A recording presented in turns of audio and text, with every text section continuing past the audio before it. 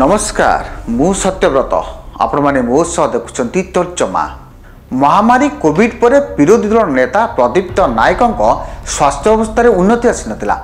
ଏଣୁ ବିରାଡ଼ି କପାଳକୁ ଶିକା ଛିଣ୍ଡିଲା ଭଳି ବହୁ ଦିନର ଅପେକ୍ଷା ପରେ ବିଧାନସଭାରେ ବିରୋଧୀ ଦଳ ନେତା ଭାବେ ସମ୍ବଲପୁରର ଫାୟାର ବ୍ରାଣ୍ଡ ବିଧାୟକ ଜୟନାରାୟଣ ମିଶ୍ରଙ୍କୁ ଦଳ ବିରୋଧୀ ଦଳ ନେତା ଭାବେ ସୁଯୋଗ ଦେଇଥିଲା।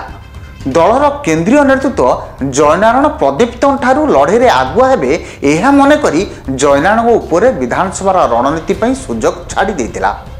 ତେବେ ଜୟନାରାୟଣ ବିରୋଧୀ ଦଳ ନେତା ଭାବେ ଦାୟିତ୍ୱ ଗ୍ରହଣ କରିବା ପରେ ସେ ମଧ୍ୟ ସ୍ୱାସ୍ଥ୍ୟଗତ କାରଣରୁ ଅସୁସ୍ଥ ରହିଲେ। ଚିକିତ୍ସାଧୀନ ଥାଇ ସେ ବିରୋଧୀ ଦଳ ନେତା ଭାବେ ପଦ ସମ୍ଭାଳିବା ତାଙ୍କ ପାଇଁ କାଠିକର ପାଠ ହେଲା।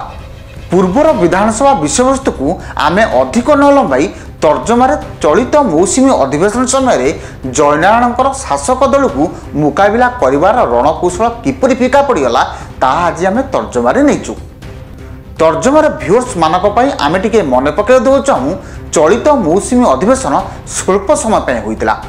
ଗତ ସେପ୍ଟେମ୍ବର ବାଇଶ ତାରିଖରେ ଆରମ୍ଭ ହୋଇଥିବା ଏହି ଅଧିବେଶନ ଦିନକ ପୂର୍ବରୁ ଗତକାଲି ଶେଷ ହେଲା।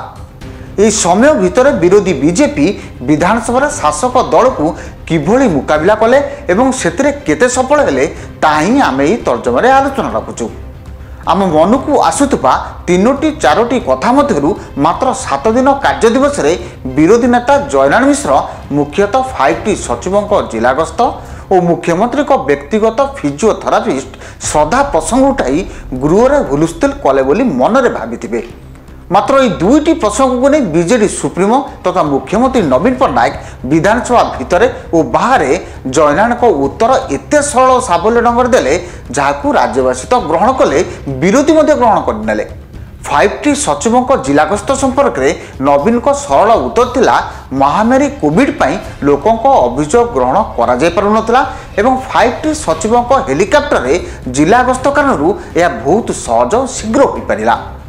ଲୋକଙ୍କର ବିକାଶ କଥା ତାଙ୍କର ପ୍ରାଥମିକତା ଥିବାରୁ ସେ ଏପରି ନିର୍ଦ୍ଦେଶ ଦେଇଥିଲେ ଓ ଏହାଦ୍ୱାରା ରାଜ୍ୟବାସୀଙ୍କ ଉପକାର ହୋଇଛି।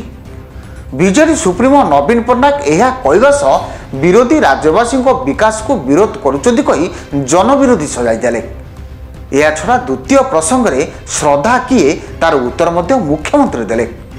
ଏକ ମହିଳାଙ୍କ ନାମକୁ ନେଇ ବିରୋଧୀ ନବୀନଙ୍କୁ ବଦନାମ ପାଇଁ ଅପଚେଷ୍ଟା କରୁଥିବାରୁ ଏଥିରେ ରାଜ୍ୟବାସୀଙ୍କ ପ୍ରସଙ୍ଗ ଜଡ଼ିତ ଥିଲା। ଏଣୁ ବିଧାନସଭା ଭିତରେ ନବୀନ କହିଲେ ଶ୍ରଦ୍ଧା ହେଉଛି ତାଙ୍କର ବ୍ୟକ୍ତିଗତ ଫିଜିଓଥେରାପିଷ୍ଟ ବୟସାଧିକ କାରଣରୁ ତାଙ୍କ ଶରୀରର ପରିଚର୍ଯ୍ୟା ପାଇଁ ତାଙ୍କ ଭଉଣୀ ସ୍ୱର୍ଗୀୟା ଗୀତା ମେହେଟା ତାଙ୍କୁ ପଠାଇଥିଲେ। ଏହାଛଡ଼ା ତାଙ୍କୁ ସରକାରୀ ଘର ଦିଆଯାଏ ନାହିଁ କିମ୍ବା ଭାଟିକାନ ସିଟିକୁ ଟ୍ରାଭେଲ ଖର୍ଚ୍ଚ ସରକାର ଦେଇନଥିଲେ। ଏଣୁ କେଉଁଠି ରହିଲା ସରକାରଙ୍କ ତ୍ରୁଟି? ନବୀନଙ୍କ ଏହି ଉତ୍ତର ପରେ ବିଧାନସଭା ଭିତରେ ଜନବିରୋଧୀ ଶବ୍ଦ ବିଧାନସଭା ବିବରଣୀରୁ ବାଦ୍ ଦେବା ଦାବି କରିଥିଲା ବେଳେ ଆଉ କୌଣସି ରଣକୌଶଳ କରିପାରିନଥିଲେ। ତେଣୁ ବିଜେପି ନେତୃତ୍ୱ ମଣ୍ଡଳୀ ବିଧାନସଭାରେ ଜୟନାରାୟଣଙ୍କୁ ନେଇ ଯେଉଁପରି ଭାବୁଥିଲା ତାହା ସେପରି ନଥିଲା। ନବୀନଙ୍କ ଉତ୍ତର ଜୟନାରାୟଣଙ୍କ ରଣନୀତିକୁ ଫିକା କରିଦେଇଥିଲା। ଏବେ ବିଜେପି ଜୟନାରାୟଣଙ୍କୁ ନେଇ ଆଗକୁ କିପରି ବଢ଼ିବ ତାହା ଏବେ ବିଜେପି ଶିବିରରେ ଚିନ୍ତା ଖେଳାଇ ଦେଇଛି। ଆଜି ପାଇଁ ଏତିକି। ରହୁଛି। ନମସ୍କାର। ଅଧିକ ଅପଡେଟ୍ ପାଇଁ ଆମ ଚ୍ୟାନେଲକୁ ଲାଇକ୍ ସେୟାର ଏବଂ ସବସ୍କ୍ରାଇବ୍ କରିବାକୁ ଜମାରୁ ବି ଭୁଲନ୍ତୁନି। ନିର୍ଭୟ ସୂଚନା ନିର୍ଭୟର ସହ ସବୁବେଳେ ଆପଣଙ୍କ ସାଥିରେ।